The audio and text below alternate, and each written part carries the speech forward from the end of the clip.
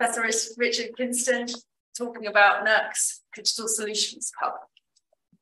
Thank you. Yeah, so um, this is a, a double act. Um, so yourself and Nourhan. Um, Dave Topping was here yesterday, but he's not feeling too well, so he's heading back to Manchester. Um, well, so those of you at the digital gathering, I think was it called that last year in Birmingham, you'll have heard me speak maybe about what the NERC Digital Solutions Programme is all about. Um, and we're kind of a year on now from that, and we've we've made quite a lot of progress. Um, what we've been doing over the last 12 months since that last uh, meeting is going around the country talking to users. And just as a reminder, the focus of the NERC Digital Solutions Programme is to make all of that 40 plus petabytes of NERC data more usable, findable, discoverable, accessible by non-academic communities. So it's quite different to a lot of other things that have gone in in the past because our primary focus is on those non-academic communities, people in local government, central government, regional government, quangos, environmental charities. Um, and what we've done for the last, uh, well, overall last winter, working with a, a, community interest company called Open Data Manchester, I think some of you attended those workshops, is basically ask that community what problems do they have in using data and in particular environmental data. A lot of them had no idea who NERC were, so we weren't sort of saying, have you ever used NERC data? Because they didn't know who NERC was. I'm not going to go through all of this. Um, but the, the primary focus there was to sit them down in a room in, in tables, and we use a very manual paper-based method to collate information from them and understand what their problems were with using data. How could they, what were the challenges with integrating environmental data with other forms of data, social, economic, health data? And what were the kind of challenges in terms of using tools? What sort of tools were they using? So one of the most surprising facts for me that came out of that was people in certain organizations who had laptops so locked down they couldn't install the latest versions of a piece of software. They were using their own personal laptops at home to do the work that was part of their job. They were using four-year-old laptops. So one of the key things that came out of this is this digital solutions hub that we are building. It has to be some kind of web-based portal. Um, so that what we're doing is building this thing, which is not just uh, a big data portal. It will be sitting on JASMIN and, and have that power of JASMIN. So this again is something that our, these potential users of the digital solutions hub, it's not the kind of computational power they've had in the past. So lot of modeling on all of this data, integrating their data uh, with others. Now, what I'm going to do now is pass over to Nourhan because uh, the primary focus of this is to talk. So Nourhan's going to take you through those kind of findings from um, the, all of those uh, workshops, and then I'll just finish off at the end with uh, where, where we're heading next. Thank you, Richard. Um, Okay, so the first thing that I'm going to do is just reiterate on what Richard mentioned in, in, in what uh, we call the user uh, needs strategy. So basically, it was a multi-phase uh, strategy. So we went through a scoping phase like 18 months ago, we started that. And then going forward to the online workshops where we actually asked users about NERC. So that was the higher level scope. And then we went through the data collection that Richard mentioned with the workshops. So those were 12 workshops ac across the country. Um, we did speak to a lot of people and it was very, very detailed uh, inquiry.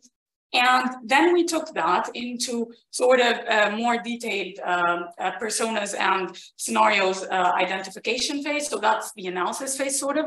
Um, and we got a lot of information out of that really. So it was surprising how much information we can gather from all of the sheets that were literally uh, written on paper on the workshops and then we are currently at the stage where we are taking all this analysis and putting it as requirements elicitation for the hub. So basically taking all the information from the qualitative side of it towards the not so small box over there, which is software development. So it's a huge process to, to take all this input as the requirements elicitation. And the idea is to have this as an agile process going through um, acceptance testing and then going back to the requirements and maybe uh, eliciting more requirements and, and gathering more data, uh, information with the users. Um, so that's basically the approach that we're taking and it's gonna continue with us until the end of the project. Um, and then once we had all the information from the workshops, we started asking ourselves very simple questions really. So who are the users that we want to target? Um, what data and tools do they already use uh, in order to capitalize on that? Um, what sort of workflow do they already use, including the pain points that Richard mentioned? And then how can the DSH improve that workflow? In order to do that, we went through, well, the last, the last thing actually is what we're working on right now, which is the requirements elicitation. Uh, and all those quest questions lead into the requirements at the end. Uh, in order to answer two of those questions, we have the report that Richard mentioned, and it's going to go out um, very, very soon. Um, and it has different types of personas, different user journeys, um, seeing how different users uh, use uh, the, the, the, data and, and what kind of workflows go into that. And I'm going to be speaking about that in a bit.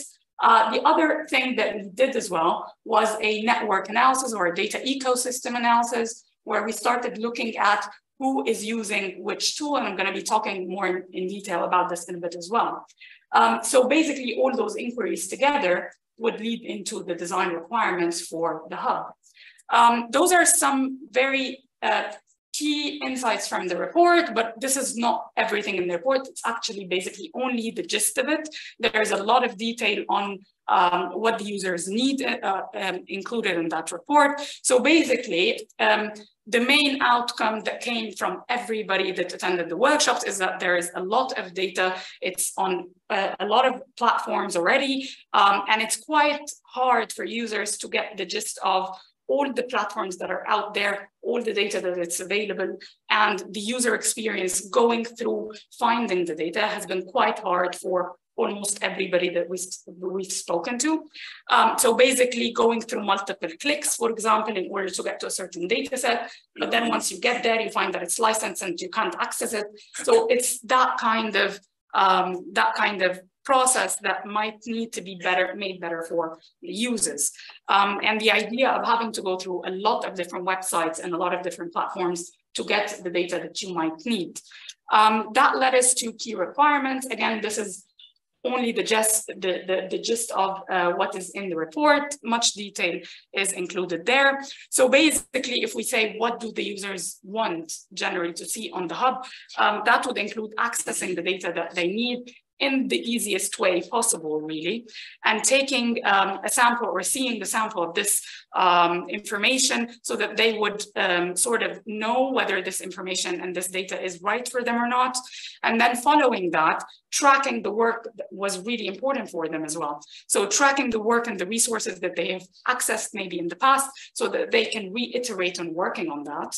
Um, and one of the very important things that were mentioned they need to do, uh, not duplicate the work and the effort that was done, whether by themselves in the past or um, um, by others already in, in the uh, field of, of, or in the same field.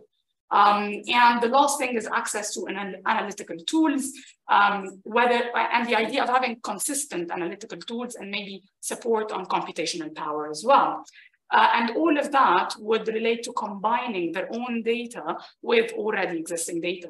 So a lot of the users had already access to a lot of data sets from their own uh, organization's sensors, and they wanted to combine this with a lot of other data sets, but they needed to go around and find them before they can actually start cleaning them and so on.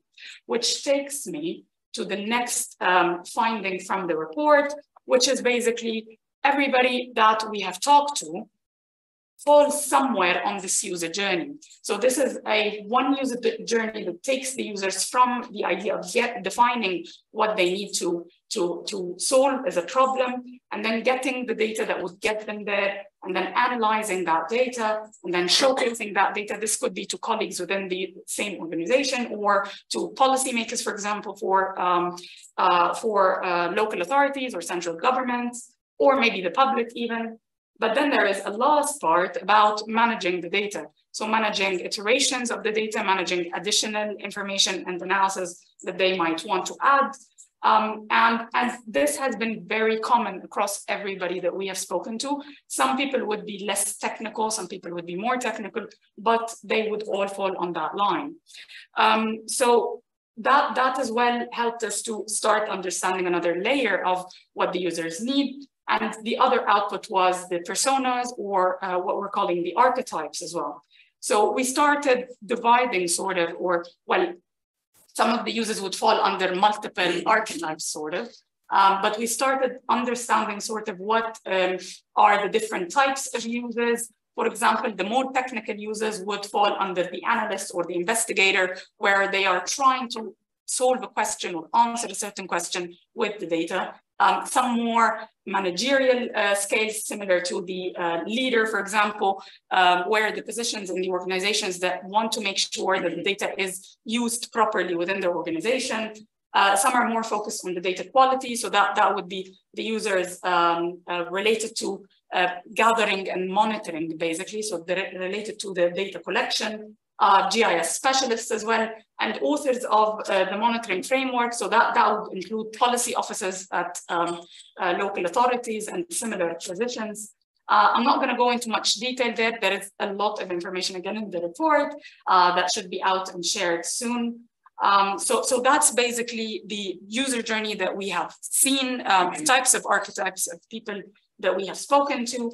And then the last question was trying to understand and uh, dissect sort of what kind of data uh, is used by which users. So this is where the network analysis or data ecosystem came into play. So we started looking at users as nodes in a network and the data as the currency between them. So we started looking at uh, what type of transformations that would happen to the data because usually users would get the data and then do some sort of analysis on it or cleaning on it. So, so there are processes that take uh, place there. And the idea was to start looking into opportunities and finding overlaps and doing so, taking into consideration the archetypes and taking into consideration the types of organizations of each user. Um, and the idea here is to get that, that part specifically would um, inform insights on the use cases. So that's basically delivering business value for the users. Um, so on top of understanding how the users would go through the hub generally, those would be specific services that we would provide. Um, this is again a qualitative um, research, however, it's quite um, a robust data set and it's interactive. Uh, we use it generally for the internal use of the team, basically, to start looking into uh, use cases. So that's that's just a visual of the network that we have right now from the workshops. Um, and well, as it stands, it's quite overwhelming, but what we use it for is to basically um, filter out only, for example, data that was generated by central government organizations and then see who is using that data and then whether we can make that workflow better and easier specifically for those data sets. Um, so that's um, where we're using that. And um, with that, I'm going to leave you with Richard again for the next steps. Thanks, Noah. Yeah, so we're at the point now where um, we were hoping we'd have had this report published. We do have a Word version, but Open Data Manchester make a very shiny version of that. If you came to a workshop, you'll get that in your inbox in the coming weeks, but it will go on our website. So if you want to read 67 pages of that diagram and not understanding what, what our potential user using the data for, what they want to do with it, you'll have access to that. Um, so the next steps really will be following up with those 100 plus users, uh, going back and interviewing them, asking them some more detailed questions. In the background, our technical team, we've got six RSEs and a systems architect, and we've just today advertising for two infrastructure engineers. So if you've got any friends or infrastructure engineers, send them my way that can come and work with us. Uh, we're building the hub that's going on in parallel in the background. So by autumn, we hope that we'll have an early version of the actual the dig digital solutions hub. We're building that on, on uh, the Esri uh, ArcGIS enterprise system.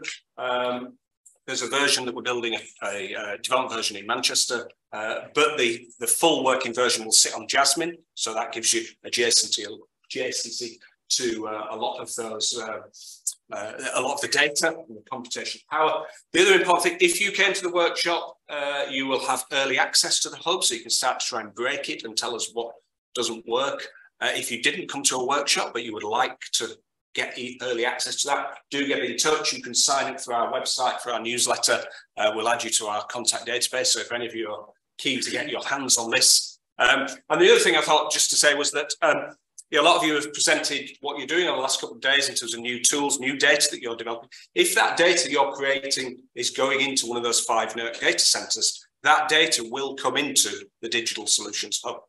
Um, so I've spoken to a few of you over the last couple of days, and if some of you have got other ideas about how you might want to collaborate with us, uh, so integrating the data you've been generating, the tools, we can then be bringing those into the hub, because that's the whole purpose of this. It's about making all of that NERC data more usable to wider communities. And what's great for you about that is that then ticks that impact box. because we'll have a way of saying organization X actually used that data that you generated in that project that was funded by NERC. So further down the line, when you're doing your REF 3037 or whatever it will be called, uh, you know, your impact case over the next coming decades, you'll be able to trace that back to the fact that someone in DEFRA or someone in SEPA or Natural Resources Wales actually used your data and your tools.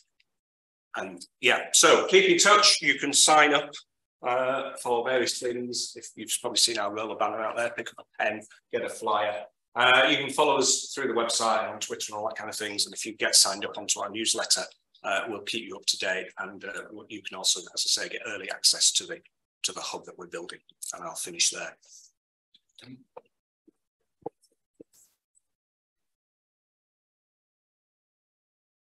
Thank you very much. Very interesting. Um, there's a few questions that have come up already. Um, uh, have you looked at all at the possible change in uses in the future that you've tried to?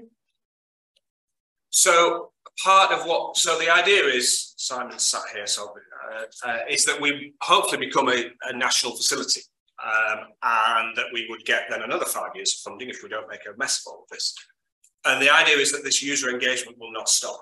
We will keep doing user engagement because the users change, new users come, you know, policy changes. So we want this hub to keep keep reacting to that. So I think we'll always do user engagement um, okay. in some form. So adapting as yeah, as yes, yeah. Yeah.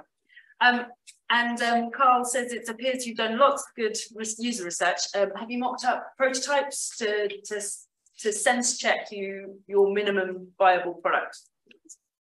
Yes, to some extent. So what we didn't want to do in the workshops was go along with mock-ups because a lot of research shows that if you go along with a mock-up to one of those workshops, users then focus on the mock-up and they sort of go away thinking, oh, it's all about this. And we didn't want them to be swayed by, oh, it's obviously just going to be a GIS tool or it's going to be this time series analysis. So we didn't present them with mock-up. We gave them some flavour, some of you were there, but we didn't want to go down that route because that can steer the conversation and it, it pushes you down a particular direction. What we are doing though is developing the first version in the autumn. Those users will have access to it and play around it, break it, tell us what does and doesn't work. And um, so it looks like from the workshops, there's just a huge amount of information. Can you just say a little bit about how you filtered it to get to the important bits or the common themes or um, it was actually a lot of work done on that. Um, a lot of that was done by ODM as well, so Open Set. And the idea was to start filtering down different uh, use cases for the workflows and then uh, start gathering them together. So who is saying what and then gathering everybody who said something similar and everybody who said similar um, barrier, for example, and then taking that through to, okay, so this is kind of an archetype and that's, and that's where the um, journey came into play. But then what we're currently working on is adding sub journeys sort of that would fit to specific uh, archetypes. And that would make uh, sure that we're actually developing certain tools or use cases for that specific archetype. Yeah, very interesting. Thank you very much. Thank you.